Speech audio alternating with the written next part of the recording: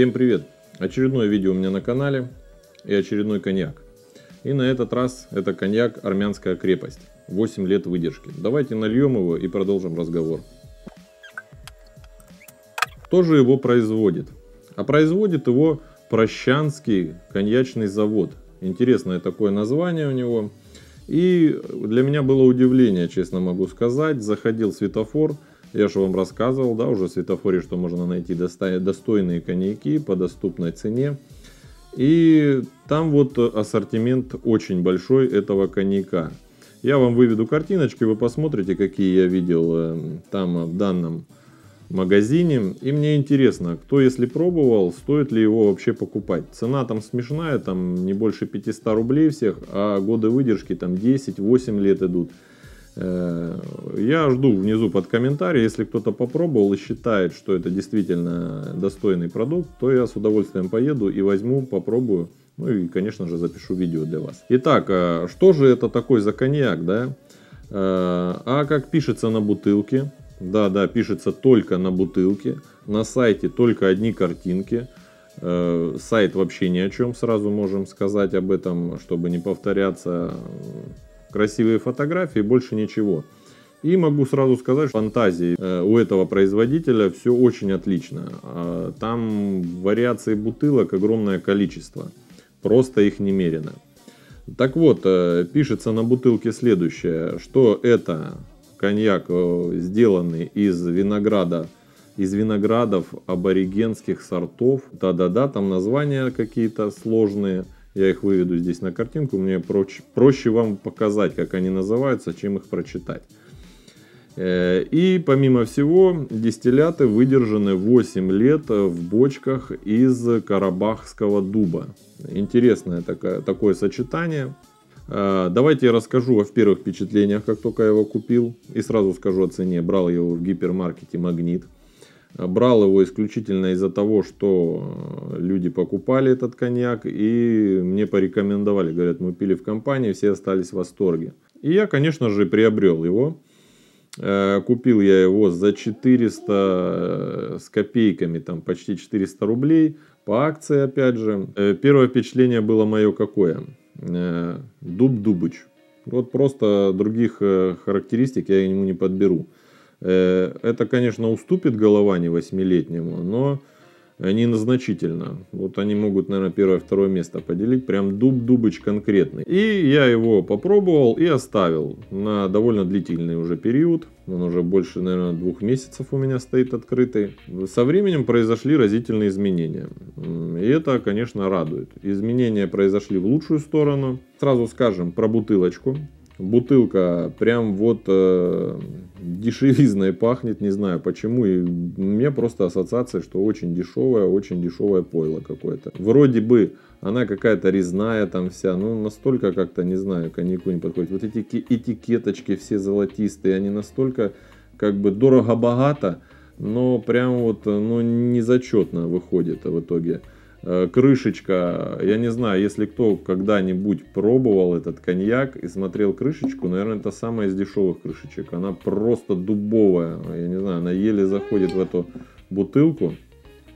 Э, и кроме смеха истерического, ничего, не истерического, обыкновенного смеха, да, это уже чересчур я утрирую. Ничего другого эмоций никаких она не вызывает. Э, про технологию. Технологию коньяка я нигде не нашел. Как, что производит, на каком оборудовании, нигде это не указано, не написано. Для чего создавался сайт, непонятно. Если они меня, конечно, увидят, ну, ну я заругаю. Давайте исправляйте сайт. Ну и давайте про дату розлива скажем.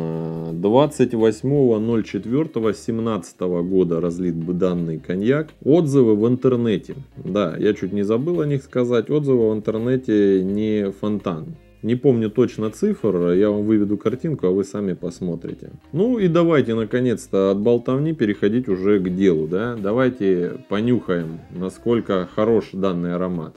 Да, и сразу скажем про ножки. Ну, с ножками все в порядке у этого коньяка. Все нормально с ножками. Молодцы. Ножки есть и слава богу. Ходит на них.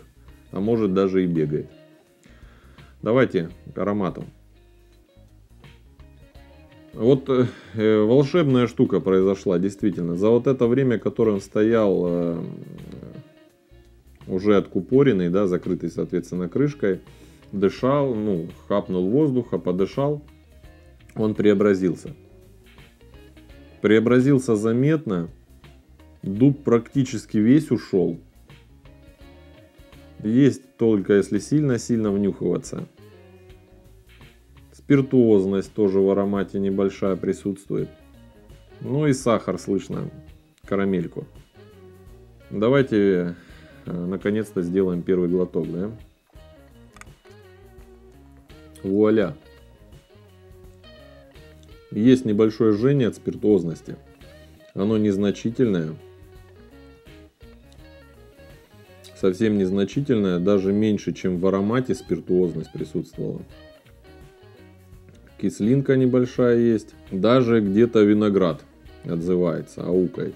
А, деревяшки нету, вот это вот прям приятно. Не знаю, вот кто мне порекомендовал этот коньяк, э, они, скорее всего, его сразу пьют. Ну, наверное, эти люди из разряда, кто любит э, дубовый аромат э, и вкус в коньяке, э, поэтому им и понравился. Но на мой лично вкус э, гораздо приятнее он сейчас стал. Вот гораздо приятнее. И вполне-вполне. Давайте еще один глоток. Даже пару сделаем глотков. Три, как положено. Он имеет место быть. Если по аромату говорите, три с половиной можно поставить оценку. Вкус, в принципе, также можно сказать, что 3,5 вполне достойная оценка. Тем более, если учесть его стоимость. Ну и давайте сейчас третий глоток, чтобы окончательно уже. Да, почему бы нет?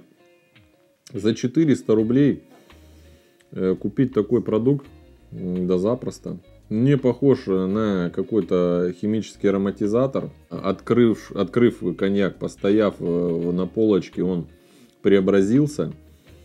И вполне можно пробовать его. Можно пробовать. Не ждите, конечно, каких-то э, сумасшедших ароматов после вкусия и вкуса самого. Но вполне-вполне.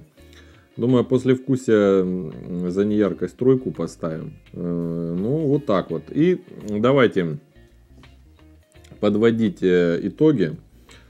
Э, что у нас по бутылочке? Бутылочка, пускай троечка будет, пожалеем, да? Троечка. Аромат 3,5. Вкус тоже 3,5. И после вкусия троечка. Вот такая вот получилась оценка у этого коньяка. Чуть-чуть выше троечки. Порекомендовать, в принципе, за эту стоимость, ну, пожалуй, лучше многих российских коньяков будет. И, конечно же, жду в комментариях под видео, э, кто пробовал э, продукцию данного завода и какие-нибудь э, хорошие коньяки, которые у них есть в наличии, а у них огромное количество, я повторюсь опять, этих коньяков, там и в каких-то дутых бутылках, и драконы какие-то там, ну, короче, я не знаю, что они там смотрят за сериалы, фильмы, может, какие-нибудь. Ну, очень здорово придумывают бутылки. Я прям думаю, может, э, Кизлярский завод там или Дербенский поехали бы там пару неделек пожили на заводе, да посмотрели, что они творят там, э, какие бутылки выдувают. И у себя что-нибудь бы изменили. Но это так, к слову сказано. Э, на этом я буду с вами прощаться. Подписывайтесь на мой канал, подписывайтесь на мой инстаграм. Э, нажимайте колокольчик, чтобы не пропустить очередное видео. Ну и до новых встреч. А, да, и забыл. Пейте только качественный алкоголь. Пейте его только в меру. А на этом все. Пока.